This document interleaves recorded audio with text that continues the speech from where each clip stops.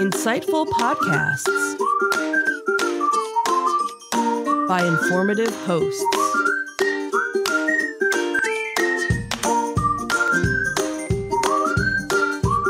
Insights into Things, a podcast network.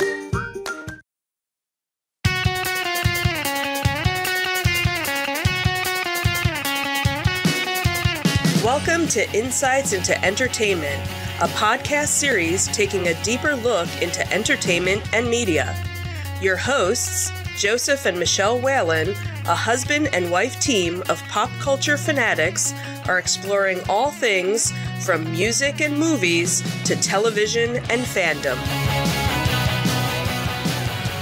Welcome to Insights into Entertainment. This is episode 138, purely for curiosity's sake. I'm your host, Joseph Whalen, and my hardworking and diligent co host, Michelle Whalen.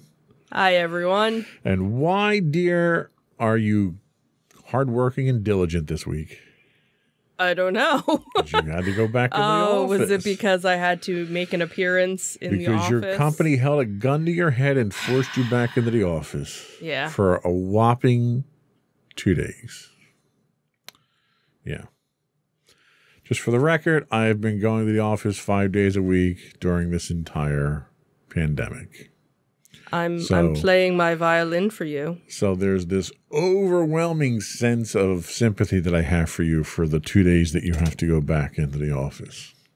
But yet, when you came home today, you said I looked so much You were happier indeed much happier working from home and today. and much more relaxed than the past two days that and it I didn't require any alcohol at all to get you to that point. see. So, Look at that. I will send a Hmm. note to your boss and tell them for medical reasons you need to stay home and work from home.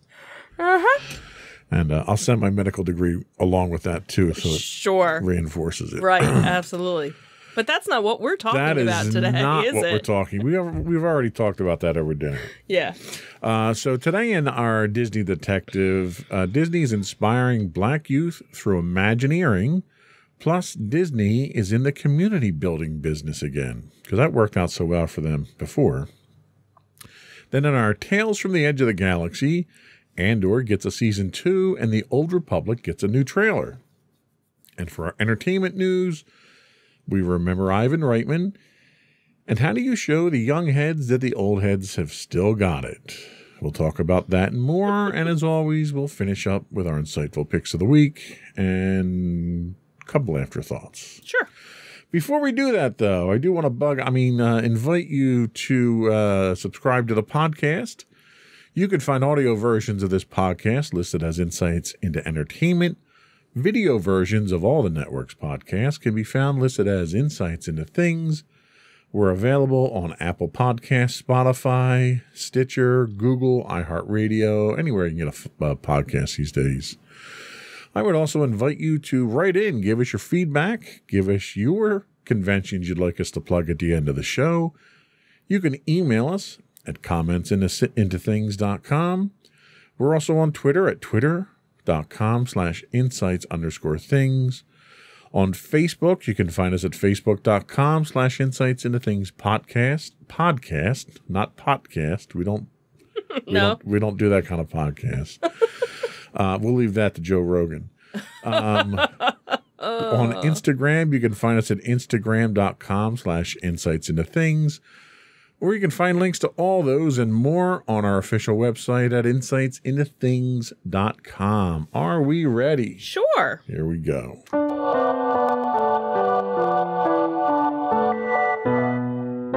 Go for Disney Detective. So our first article comes from people.com and it is um Lanny Smoot is not your average inventor. In fact, he helped create spectacles that Disney fans would instantly recognize. Speaking with people in honor of National Inventors Day and Black History Month, the 66 year old Disney Research Fellow for Walt Disney Imagineering is revealing some of his favorite contributions to Disney parks over his 24 year tenure with the company. Among the projects he has tackled with colleagues are various effects used in the Haunted Mansion, obviously personal favorite of mine, uh, such as the Madame Leota floating crystal ball head in the seance room, Spaceship Earth's Power City at Project Tomorrow in Epcot, and many more. He said, One of my favorite inventions now, just because it's current, is the realistic lightsaber. Some guests might see it in the soon to be opened Star Wars Galactic Star Cruiser Hotel experience at Walt Disney World Resort in Florida. It is the most realistic lightsaber ever made and extends, retracts, is super bright, and exactly mirrors what you see in the movies. He said, I also designed and patented the effect that will allow people to fight using lightsabers in a training remote, just as Luke Skywalker does in the movie. It's a feat he accomplished thanks to years of experience and versatility. With over a hundred patents from the United States Patent and Trademark Office, 74 of which came from his work with Disney, he is considered a jack of all trades, inventor, electrical engineer, scientist, researcher, and more. He may have never taken that path had it not been for his self taught father, uh, who got his bell ringing in electrical engineering at a young age. He said, It changed my life and it's one of my earliest memories. I was probably maybe five or six years old, and it never left me. That urge to create something, uh, new things, doing them myself, being able to see it purely for curiosity's sake. He came from a family that didn't have a lot of money, but his passion and talent led him to secure a full scholarship to Columbia University. He went to serve as an engineer for Bell Labs before starting at Disney in the late 90s. Along the way, he received recognition for his 40 plus year career. Most recently, he was named the Inventor of the Month at the U.S. Patent and Trademark Office. He also feature he's also featured in the Breaking Barriers exhibit at the National Inventors Hall of Fame Museum in Alexandria, Virginia, among his many other achievements. He's worked on multiple technologies that aren't even in wide circulation yet. For example, the ability to take a three dimensional imagery without 3D glasses, and the electronic panning camera, which is an invention he patented while at Bell years ago, which puts users in control of the view that you see on television. He had said about the latter that it might have been a bit before its time as it required a lot of network bandwidth, which wasn't really quite there because fiber optic systems weren't as prevalent. Through trial and error, he learned that inventors need to be brave and resolute in their pursuits, and that includes knowing when to just let go. You have to be realistic as to whether it will bear fruit, whether it will grow to be a successful idea.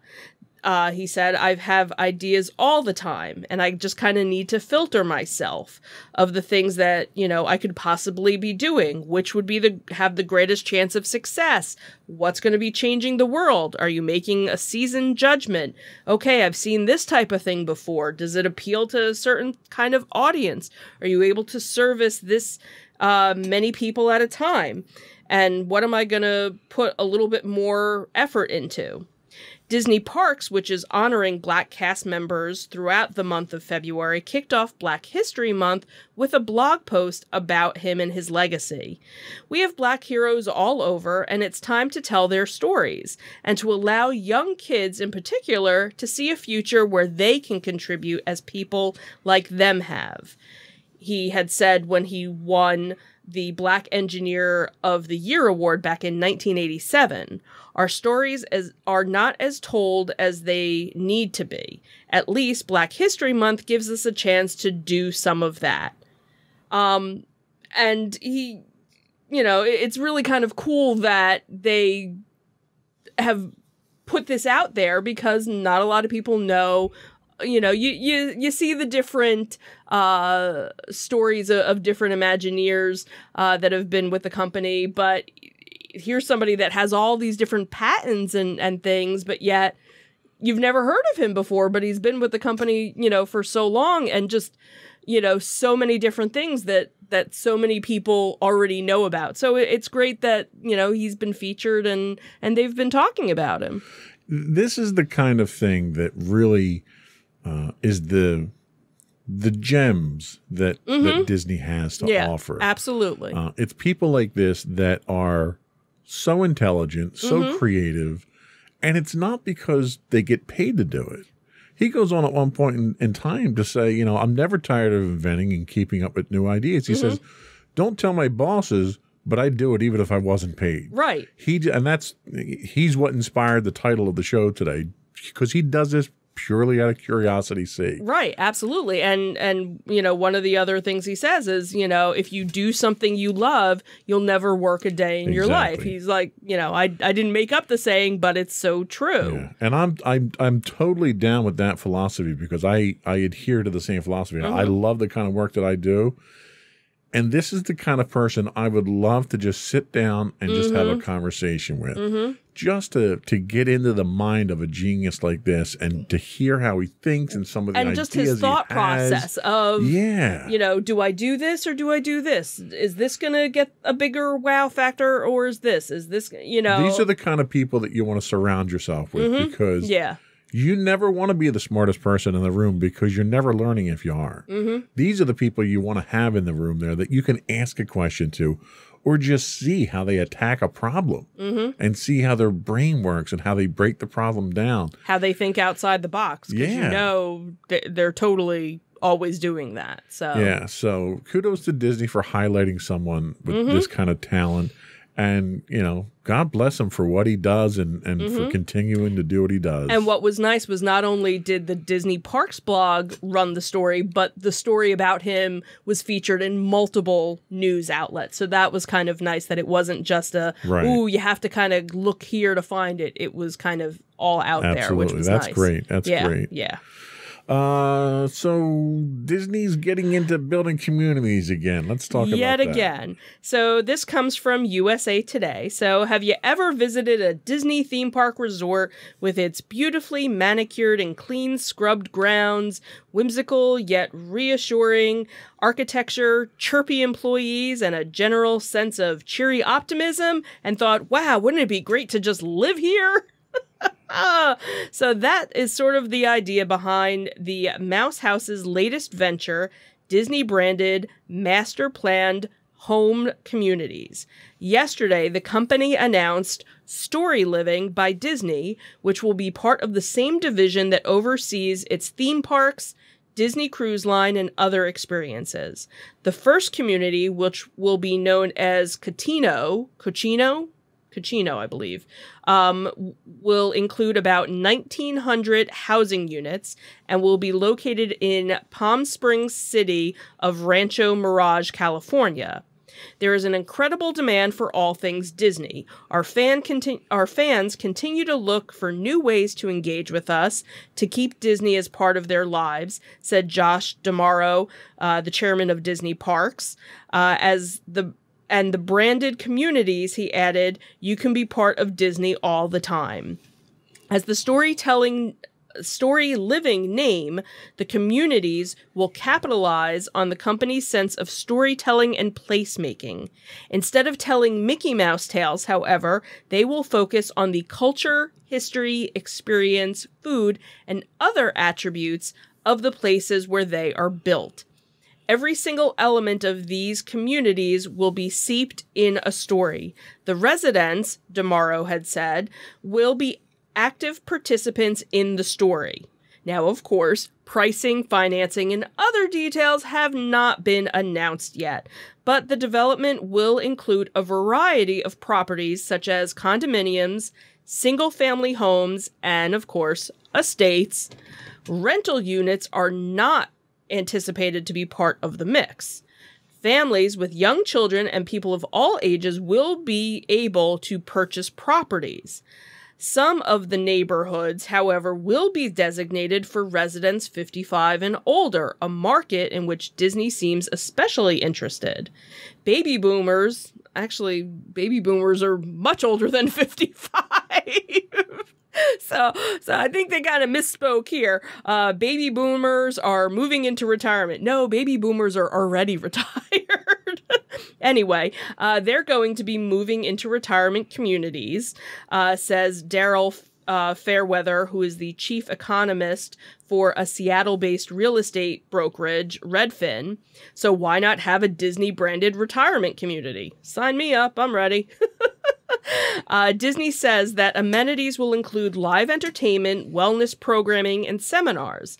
Plans call for a centerpiece lagoon with a beach that will be accessible to members of the community's private club.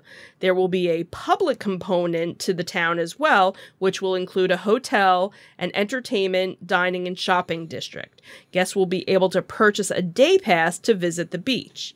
Despite bearing its name, Disney will not own the communities or be the developer of record, nor will it be building or selling the homes. It will be partnering with a third party to handle those functions.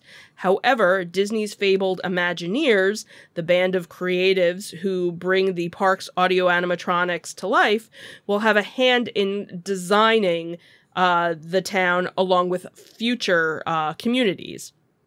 As the public faces, face of the communities, Disney will manage the marketing and sale efforts. Once the communities are up and running, the cast members will handle the day to day operations, including customer service and entertainment production. Uh, it turns out that the legendary founder of the company owned a home and frequented the Coachella Valley region um, where the town will be located. Walt Disney treated the area like his creative oasis. Uh, we loved our residents to treat this as their own creative oasis and explore the next chapter of their lives. Inspired by the historical detail, um, the clubhouse will be kind of themed as a modern day creative studio with each of its spaces creating different art forms. So, according to uh, Redfin's um, Fairweather, uh, it's likely that Disney will tightly control the communities. That would bring both pros and cons, obviously, to homeowners. There wouldn't be the rowdy bar down the street or obnoxious music playing from your neighbor, but it would come at the cost of your own personal freedom. That wouldn't sit well with everybody, but some Disney devotees who like the company's brand and value will welcome the careful curation of the community. Uh, this isn't the first time, obviously, that the Disney company has dabbled in real estate. Buyers have been snapping up popular DVC or Disney Vacation Club timeshare condos uh, since Disney started doing that in 1991. At the same time, Disney announced that it would be building Celebration, which was a planned residential community located next to its Florida resort. It welcomed its first family in 1996, but the company no longer manages it. Then, of course, you have residents of Golden Oaks, which is the luxury resort home community that Disney opened in 2011, where you can see fireworks nightly from the nearby Magic Kingdom. Walt Disney has granted has grand ambitions to develop a working city with uh, residents, which would have showcased the latest in technology, and that's actually what Epcot was supposed to be. But after his death in 1966, Disney's successors reinterpreted his vision as a theme park that exists today. So Disney was actually trying to build a, a connected, integrated, story-based community, and while the uh, the story living the story living communities are not Epcot, they kind of share the same spirit. And this is what Disney would have wanted all over. So details about the town uh, when they're breaking ground um, hasn't been set yet, and they haven't. And they've also said that they're not accepting deposits as of right now. So another money grab from Disney here. um, I had read another article uh, that actually talked to residents of Celebration, which Disney's kind of abandoned at this point. They're not Yeah. involved with it at No, all. no. And they said it started out as a as a very you know it was a modern community. It was a Mhm. very tight knit community, Right. and then tourists ruined it because Right. it became everyone. It was all they they had uh, kind of uh, equated that to living in a fishbowl, where tourists would Mm-hmm. Everybody wanted to come and yeah, say and yeah. see what your life looked like. and how are they going to change that for these new communities that Disney's doing? Right, right. And- because again, Disney's n- just going to start it and then there'll be another company. So it's really kind of Right. That's the same thing. Doing the same thing over again. And I love the fact that they mentioned that they're going to have all these types of different housing there, up to and including estates. And they specifically mentioned they're not going to have rental properties. So it's pretty clear what income segment Disney's Right. catering to. or here. they want you to buy. They don't want, you know, somebody that's just going to live there for a year. They want somebody that that has a commitment. Right. Well, and eh, I look at it from the standpoint of Disney's looking for higher end customers now. Mm-hmm. Absolutely. In everything else that they do. This is just one more thing that they're doing Mm-hmm. that with. We'll see how how successful this is. This is the first one they have planned. Uh, I don't know if this article talked about it, but the one that I was reading said that there were supposedly five uh, Different ha- locations. The intention is to have five locations. They didn't say where. I'm guess if I had to guess, I would say they would probably well, I don't know, maybe you would do something like I was trying to think like different regional areas. Well, so you you you know they do one in Hawaii because they're they're trying to improve increase their footprint in Hawaii with Aulani and everything out there. yes, I don't know. I don't know who would up and move to Hawaii. That's Well, you you probably would get locals first, Then Right. you'd get people from the West Coast that would be moving out. I there. guess, but I, I'm trying to think of, you know, because obviously they're planning it with the lagoon, with the beach, whatever. But do you do something like a Colorado with a skiing aspect? I could totally see that. so that you know something where it's not all yeah, you don't have the same restrictions you would with a theme park, for instance. Right. So geographically, you know do you do wide open. something you know in the midwest or something You could something, do something in ranchy Jersey, type. like in North Jersey, where the landfills are, and, and that can cater to a different group. And yeah unfortunately there probably wouldn't be anything I could in- see them using some of the swampland, down in Florida. Right, right. You well, I'm trying to think of you know like different areas that are are near something. You know, one that it has a lot of land that they Sure. can do this, but also where you know the the the re the the region and the weather Well, and something. And the other thing is they have to go be into. careful where they go because of the level of control they want to exercise. True. There are some states that will not allow the level of of uh, homeowner association True. interference that Disney's going to be looking for. Right, right. Because So- and that we know that that was a big thing for celebration. Yep. and I'm sure it still is part of the homeowner association, but was probably much stricter back Yeah. in the day based off of you know what color your house could be and your decorations for the holidays and Right. when you could have them up and when you took them down and and things like that You know, maybe we sold our DVC just in time. We can invest in this and get in the state now. get we the just- state. But see, this is one of those things, and this is where I think I would have a problem because you're mo- and this is why I never wanted to go to to celebration because you're with other Disney fanatics and you're competing with other Disney fanatics. Like, ooh, what collectibles do you have? Oh, are you, own. I think you are a little bit more See, so. I don't. I don't collect for the for the sake of Right, competing with any someone else. I No, collect get for the enjoyment of it. Right, but then it's you know, oh, let's go over to George's house and say, oh, look what George has See, for but Star I would go to Wars," and- George's house and say, "Oh, that looks cool. I want to do something like that in my house now." I saw. I would use it for inspiration more Mm. than competition. but it becomes a competition because you want to have a bigger and better No, Death I don't Star. want it bigger and better. I just sure? I want to have it, a nicer arrangement than I have in, in my Oh, house. okay, all right. That's how it is. I don't compete with anybody. It's not a competition unless, Unless I'm you're winning. winning. Right, You know, that's right. the rule. Yeah, so that that would be my only thing. It's you know, you go and you move there, and it's you know, I'm curious to see what the average annual income is for the people that are going to be living in this community. Mm-hmm. And the the other thing too is are they going to have a school? Are they going to, you know, because obviously we know Golden Oaks, you know, 2 million dollars to just get in the To door. just, to just walk through the gates. right doesn't have anything so your kid either you don't have kids or your Well, kid goes to if private you're buying school a two million dollar house, your kid's going to private school. Okay? right right whereas celebration i know has their own school they don't district have their own government though, or No. police force or anything like that. So they're a special classification down there, which right I So suspect I- they'll be similar. right so i'm wondering what they're because they obviously want everybody they they Right. want all age well They want everybody above who a can certain pay a income. certain income yes i got it Yeah.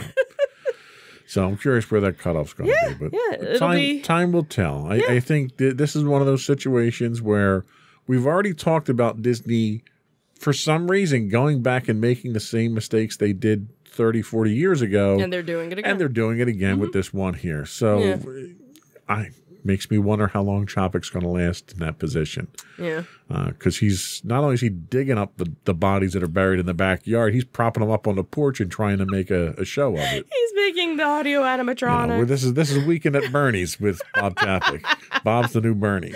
nice So anyway, that's all we had for our Disney detective this week. We'll be right back with our tales from the edge of the galaxy.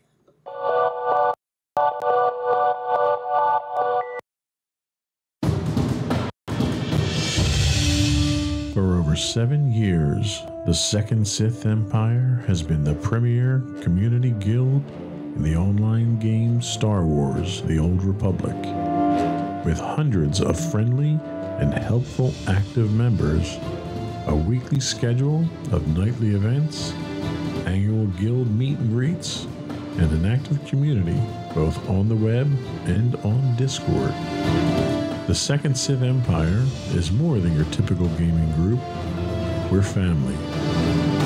Join us on the Starforge server for nightly events such as operations, flashpoints, world boss hunts, Star Wars trivia, guild lottery, and much more. Visit us on the web today at www.thesecondsithempire.com.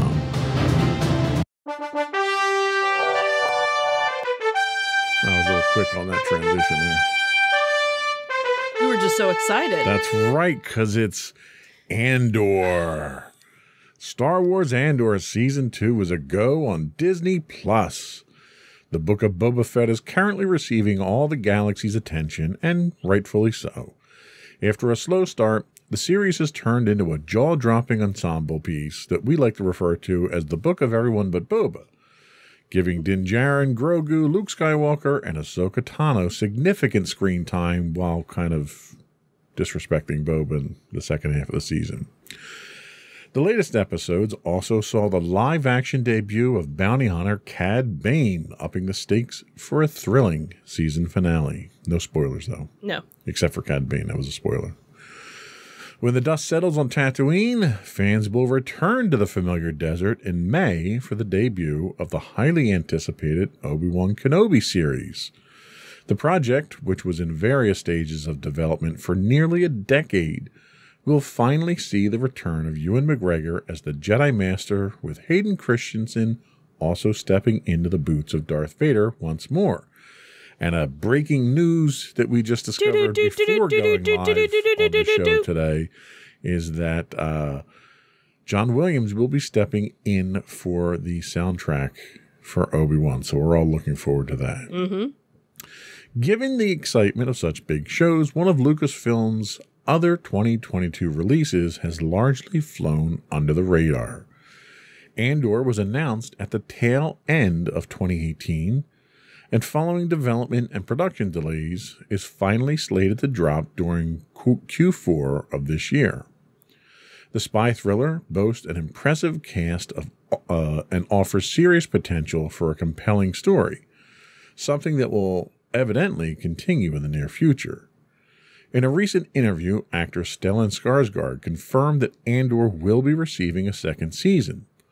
The actor told a Swedish publication that after a brief break, he'll be returning to a few sets, including Andor, come this fall.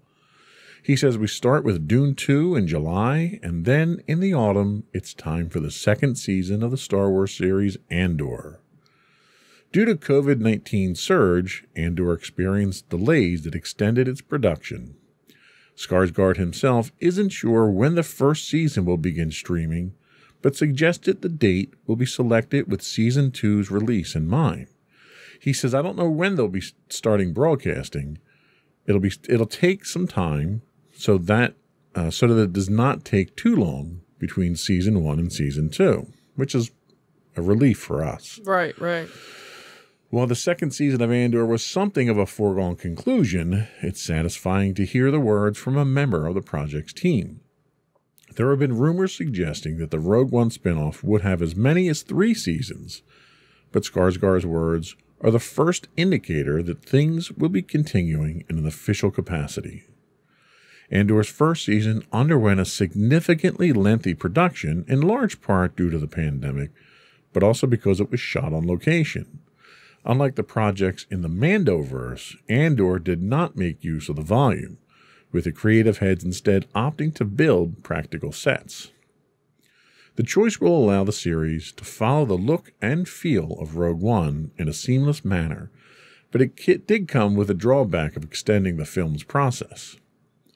Because of the complications of COVID 19 introduced to Andor, it's difficult to predict how long production will take for season two. Given Skarsgård's words, there's a chance that all work could be completed in time for a quarter four release in 2023, but that seems to be a pipe dream. The production team does have the benefit of pre existing props and sets on hand, which should reduce the pre production time significantly. Should creative leads opt to use the volume for some sequences, shooting will go quicker than expected as well.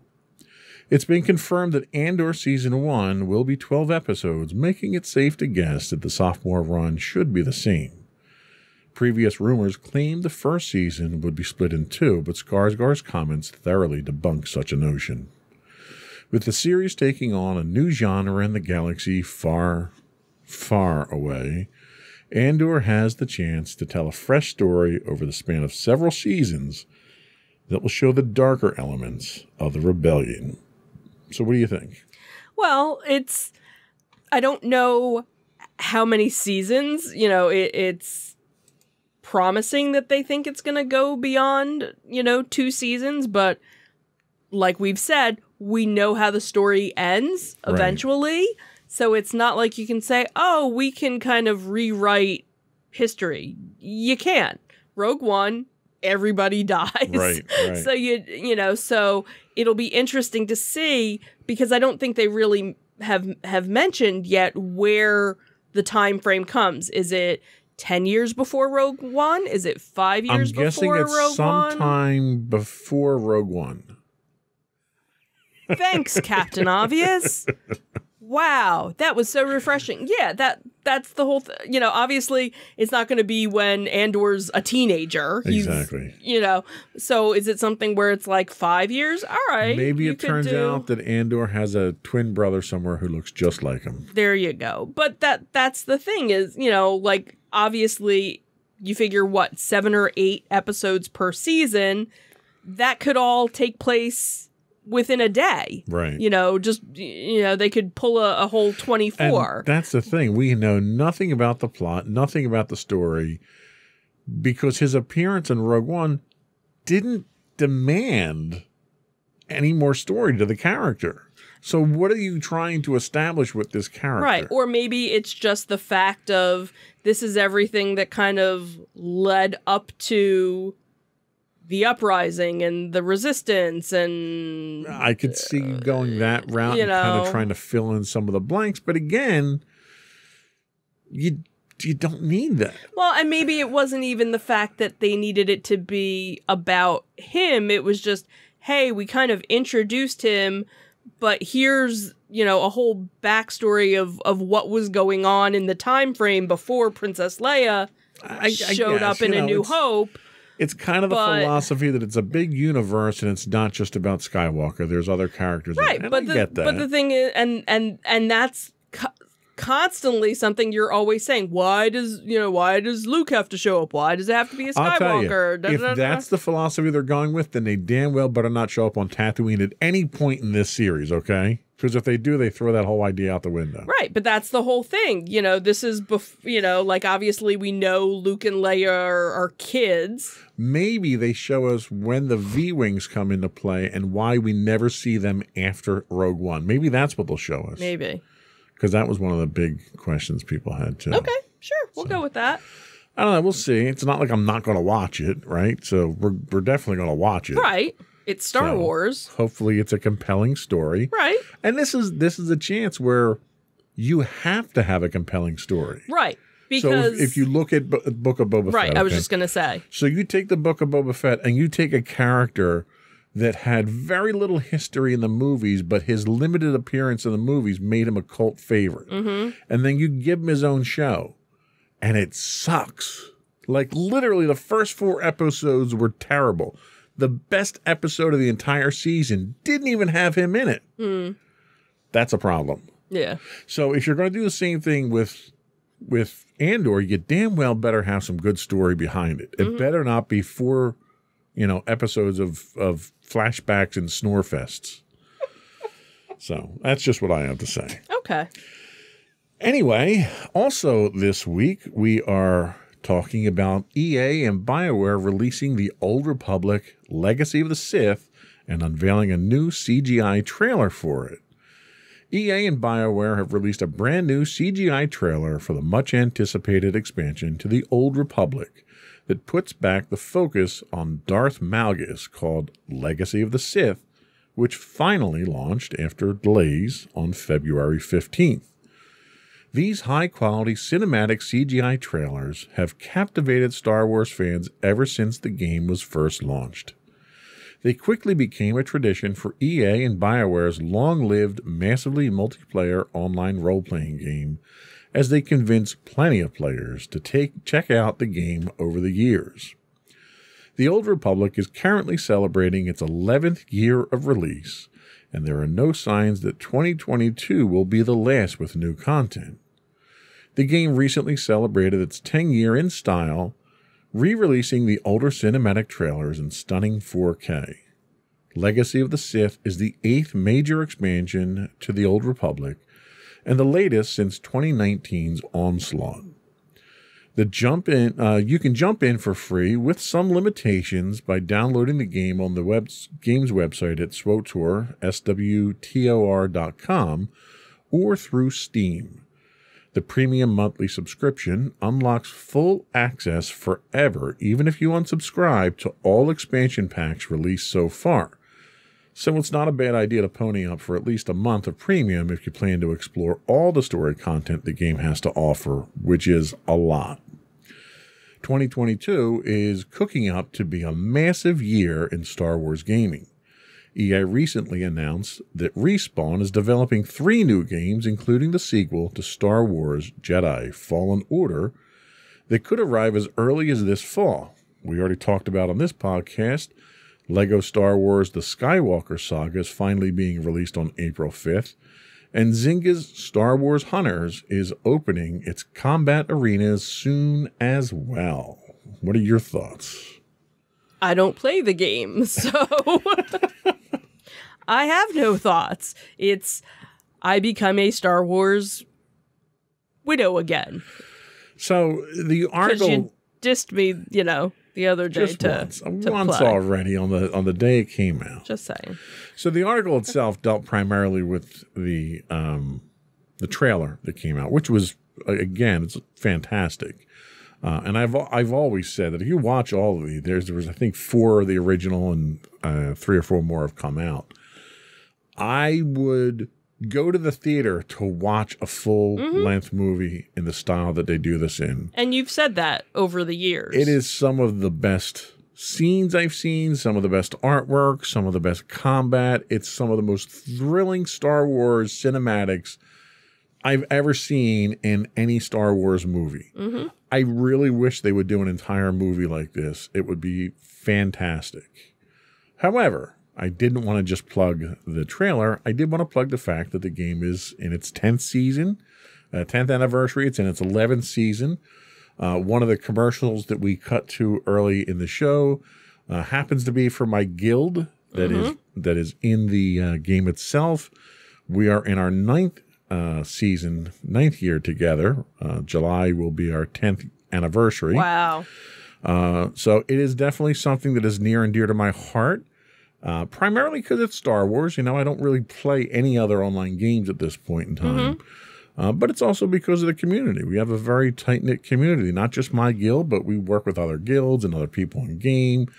Uh, and it's it's a great support group that you know it's a great escape from reality. Um, it's not expensive to subscribe, and like they say, you all you need to do is subscribe once. You get a premium status, and you get to keep all that content moving forward. So, I wanted to plug the game, the anniversary, and uh, the new content. Cool. So that's it for uh, Tales from the Edge of the Galaxy. We'll be back in a minute with our entertainment news of the week.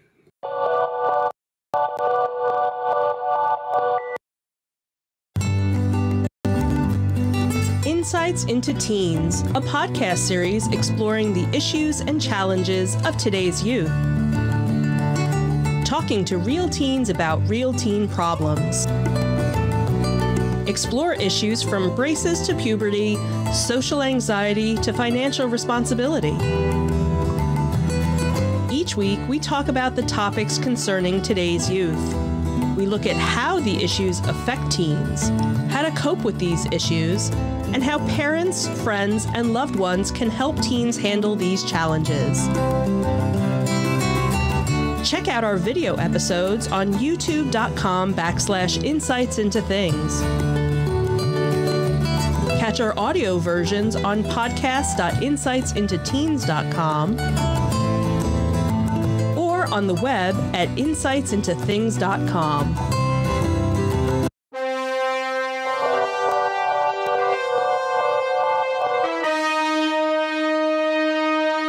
Go for entertainment news.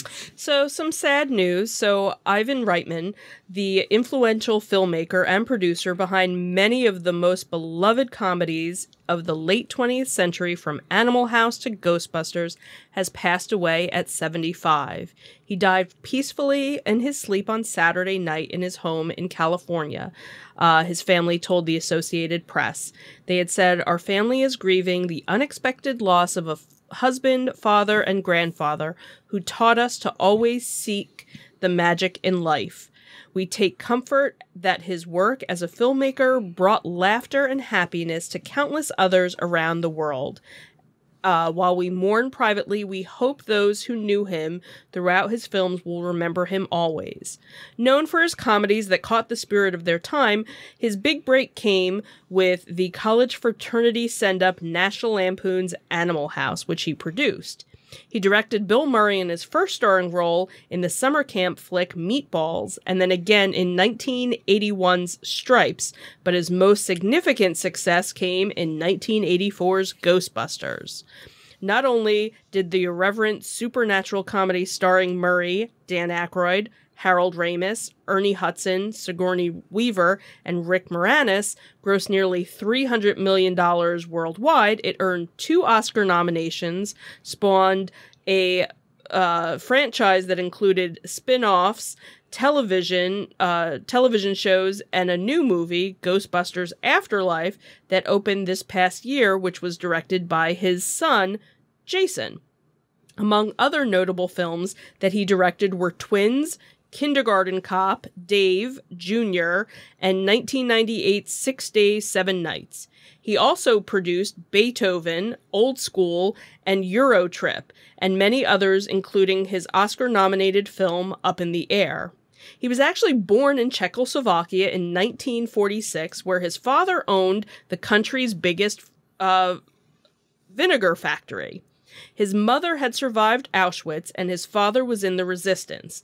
When the communists began imprisoning capitalists after the war, the Reitmans decided to escape when he was only four years old. They traveled in the nailed down hold of a barge headed for Vienna. He said, I remembered flashes of scenes. Later, they told me how they gave me a couple of sleeping pills so I wouldn't make any noise. I was so knocked out that I slept with my eyes open, and my parents were afraid that I was dead.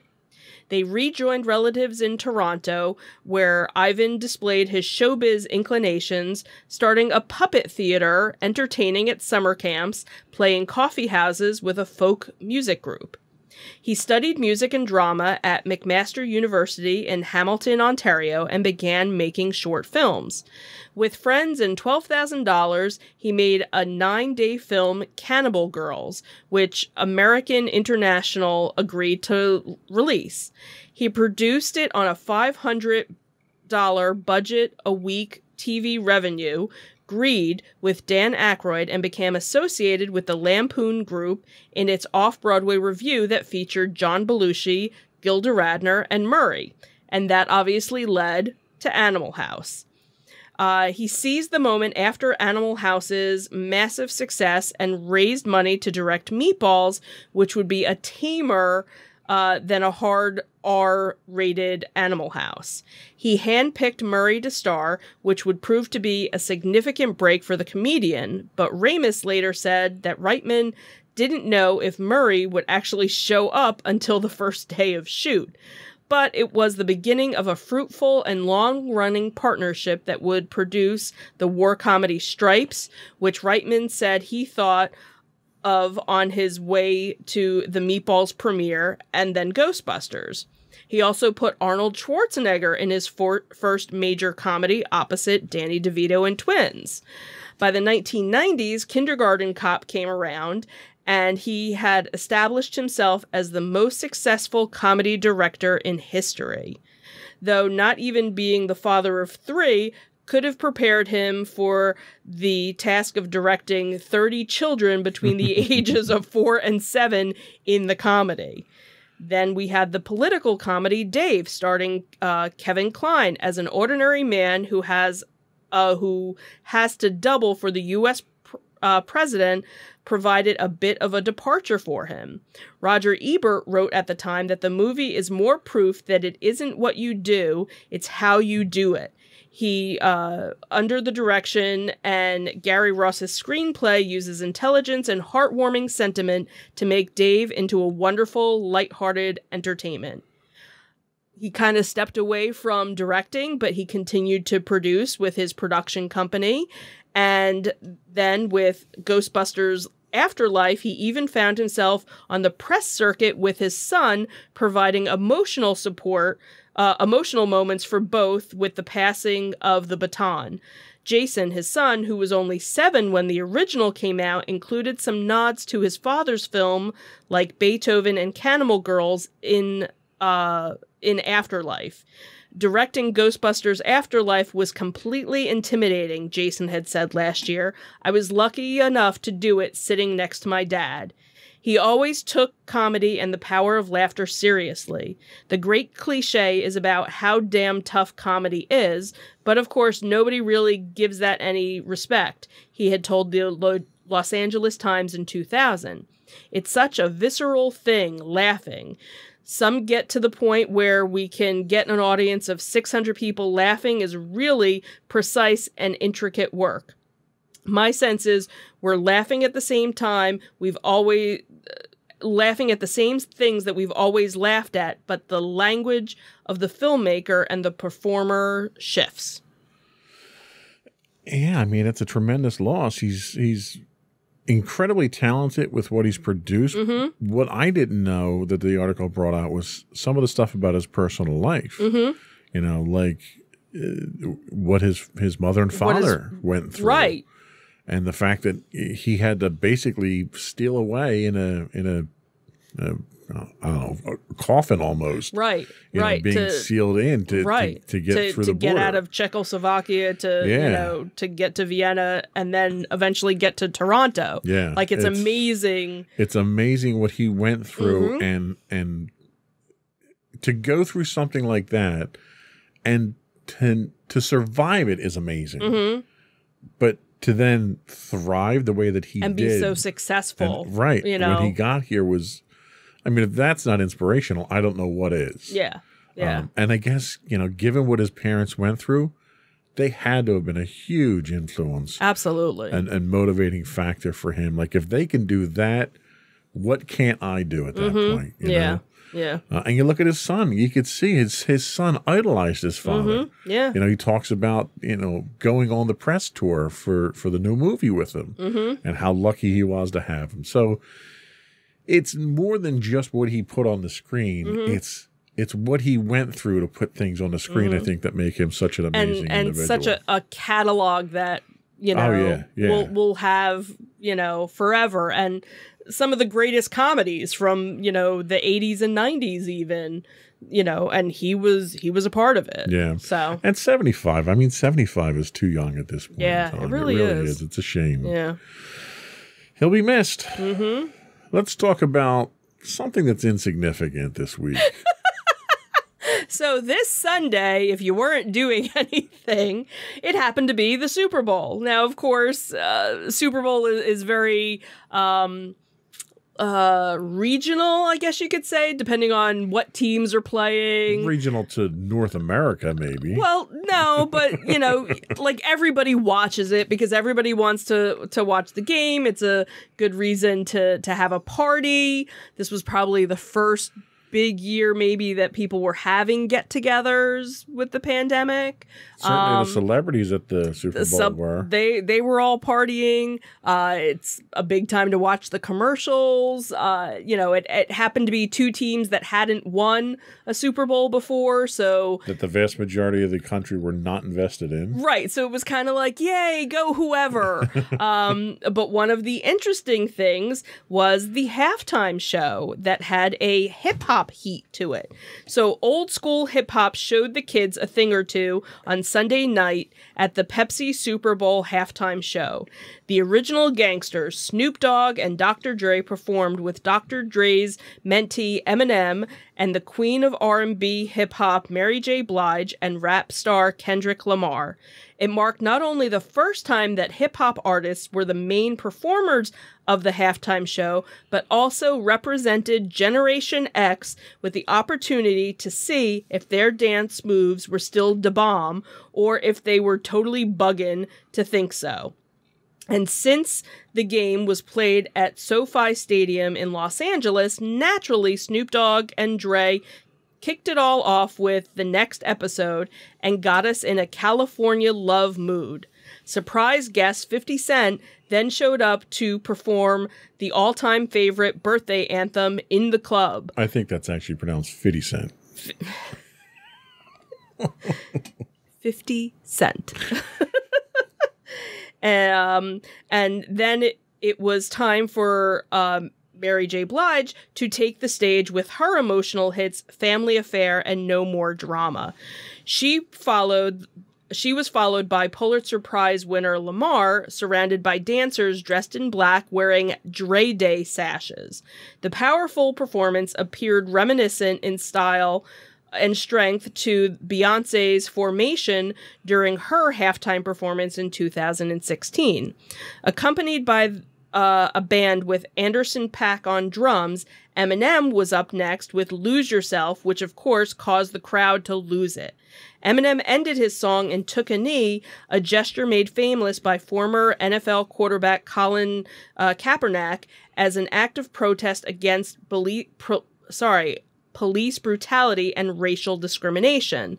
Then it was time to return Dr. Dre. Uh, time to return to Dr. Dre, who appeared to be producing the entire performance from a soundboard on top of a set referencing a South LA neighborhood. Um, Dr. Dre played a snippet of I Ain't Mad at Cha uh, on the piano, which was a tribute to his former collaborator and West Coast rapper Tupac Shakur, who was gunned down at the age of 25 in 1996. Then he uh, then they reminded the audience that he still got love for the streets with some bars from Still DRE featuring Snoop Dogg. And that's how you show the young heads that the old heads still got it. So I'll be the first one to I admit know. I am I am not a consumer of uh, hip hop material. Right? Yep. Um, I I don't get it. and and I admit that. and that's okay. Uh, but I will acknowledge the fact that having all of these superstars of hip hop on stage at once was a monumental achievement. It definitely was. Now, granted, I I will admit it's not my my music of choice. Did I know a good portion of the songs? I did. And that's it was very entertaining. So as somebody that wasn't, you know, a huge fan, but you know, somebody that grew up in the 90s, you knew the songs. You know, Right. whether or not if you had listened to the whole performance, you definitely would have known it. It, it was definitely something for the Gen Xers. Uh, it really, really was, and to to see how much talent you know w- was there, it was probably one of the best shows. Last year, it was, um, you know, again we were in a different time, but the performer was the Weeknd.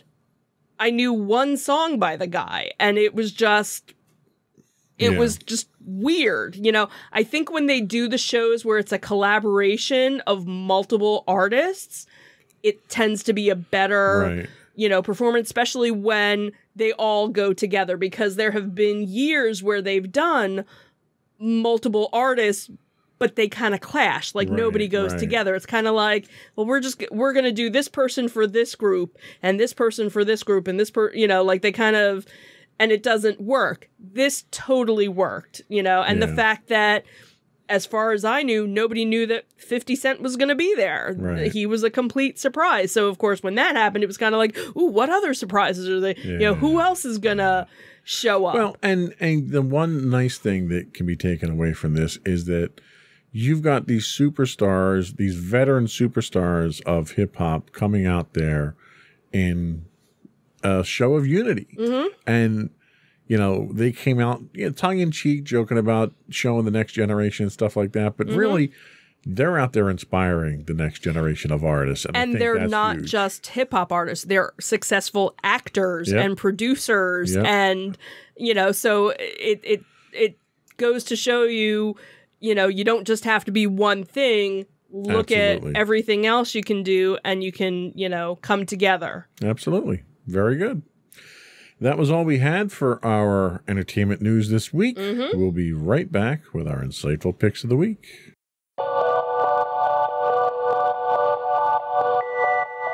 Go for your insightful pick. so my insightful pick is kind of a funny game showy type show called That's My Jam.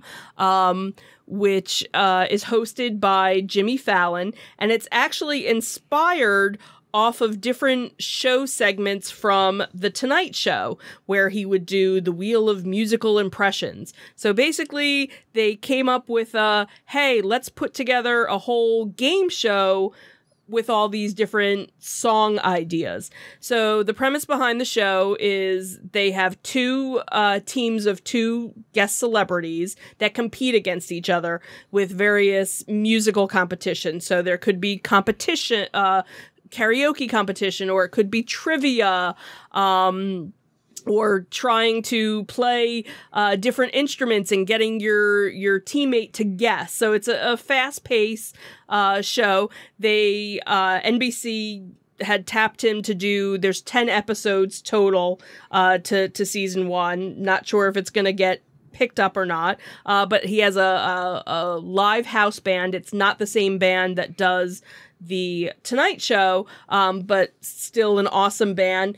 And some of the guests are just hysterical. And, you know, it- it's one of those kind of like, um, you know, like, oh, we're going to give you this many points and this many points, you know, and the points don't matter type thing because everything comes down to like the final uh, mashup between. Like, what's my line anyway? Yeah, yeah, exactly. But like the final is a karaoke thing where a, a song gets randomly picked and you have to sing, you know, the lines of the song and then all of a sudden the music's going to go away and you have to continue. And if you get it right, the other team gets squirted with water. If you do it wrong, you get squirted with water. And just watching the the the the uh, celebrities, you know, interact and and and get all crazy with each other, you know, it, it's it's hysterical. It's it's Nice. a nice, you know, you just want something to laugh at here's your show. All right, good pick. Thank you.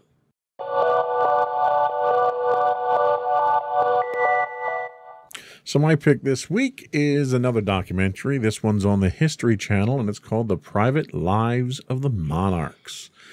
The iconic images of monarchs frequently captured, and I'm not talking about butterflies either. No. Frequently captured in famous portraits and paintings are part of the very fabric of national culture in carefully arranged poses. This is all well and good, but actually, they were all just human beings with the same tics and foibles, bad habits, and weaknesses as the rest of us. Their collective impact on history fills tens of thousands of textbooks. But what do we really know about these royal figures? The private lives of the monarchs delves beneath the public lives of the monarchs, such as Queen Victoria, King Louis XVI, and Henry VIII, to shine a light on their private lives. By eschewing dates and diplomacy for foibles and fetishes, the show reveals the real life human beings behind the pomp and pageantry. For, for instance, the most uh, when most people think of Queen Victoria, they think of a woman that's straight laced and slightly removed from the empire she presides over. But in truth, the Queen was a very passionate woman, witty, rebellious, and flirtatious, who defined the Victorian age. Eleven episodes over two seasons, each focus on a specific subject. Season one is a look at historical fix- fixtures such as Queen Victoria, George III, Henry VIII, and Louis XVI. Season 2 touches on 20th century figures, including Princess Margaret, Edward the uh, Eighth, and even Hitler and Al Capone. The show itself is interesting. I, I you get me into the, the British shows. 'cause It's all my fault. it is. It's all your fault. So I watch look, these honey. things. Downton Abbey. What's really interesting about this is they get to incredible detail about things that are never released to the public. Mm-hmm. And in some cases, for very good reason, because if if they really got out and were public knowledge, it would really tarnish the image of the royals.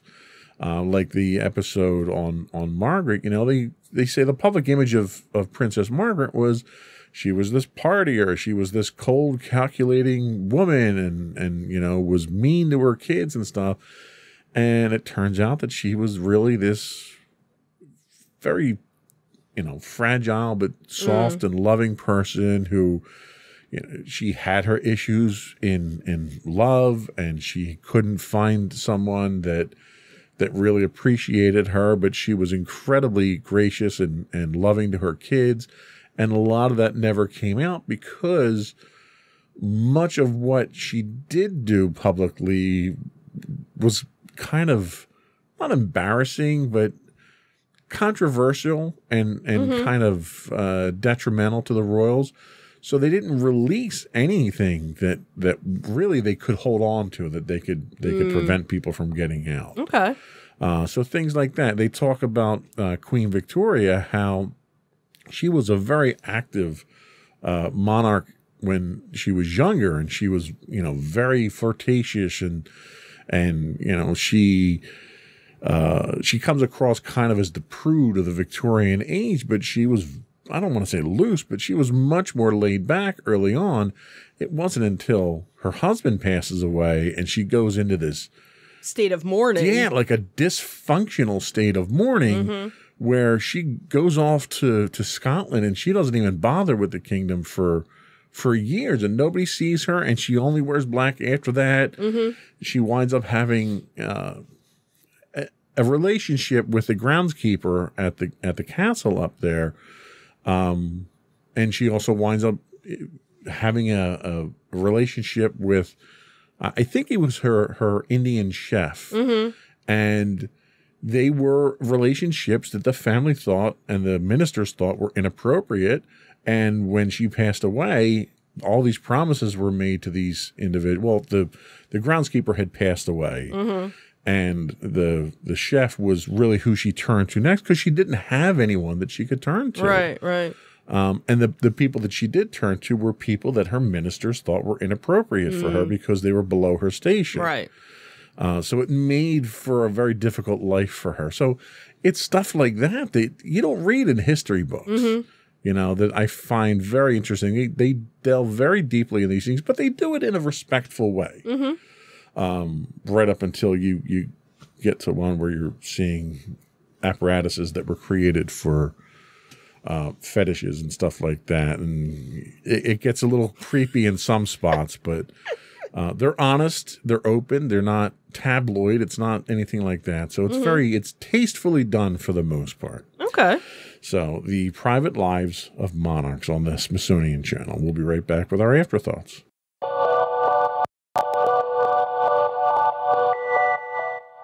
So what do we have for afterthoughts? So just two quick ones that are, are coming up. Uh, so I'm guessing this is next weekendish is the uh, Nerd Fest, which is part of the Jersey Shore comic book show. Nerd Fest. There I you really go. can't get into that. Yeah. one.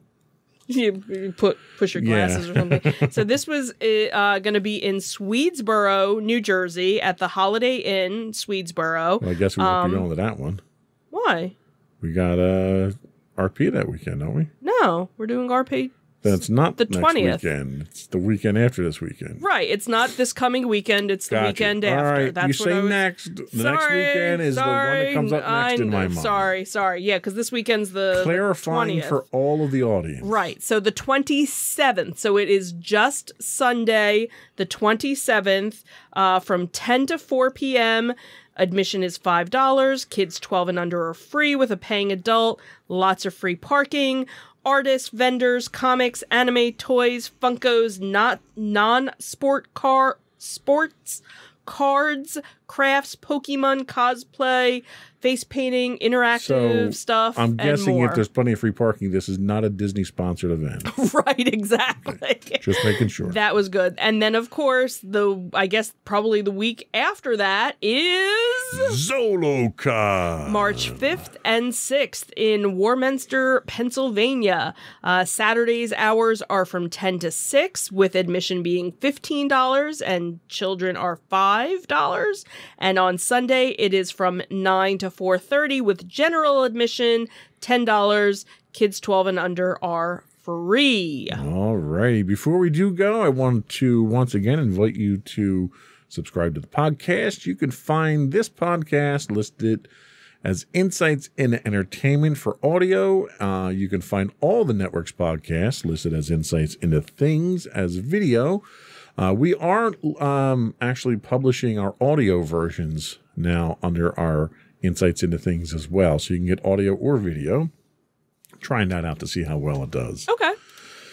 We're available on Apple Podcasts, Spotify, Pandora, Castro, Stitcher, Podbean, Buzzsprout, Amazon Music, iHeartRadio, Stitcher. And I think I said them all that were on the screen. Yep. Uh, we'd also encourage you to reach out, give us your feedback, tell us how we're doing, give us your shows you'd like us to plug. Uh, you can email us at comments at insightsintothings.com. You can find us on Twitter at twitter.com backslash insights underscore things. You can find video versions of this podcast on the web at podcast.insightsintothings.com. You can find us on Facebook at facebook.com backslash insights into things podcast. We do stream online six day, five days a week. I was gonna gonna say six, but that's not true. I'd lie. uh, five days a week on Twitch at twitch.tv slash insights into things. You can find us on Instagram at instagram.com backslash insights into things. High res versions of all of our videos can be found on YouTube at youtube.com slash insights into things. And if you missed any of those links, if you go to our main website, you can find links to everything, and that is insightsintothings.com. That's it. Another one in the books. Have a good week, everyone. Bye. Bye.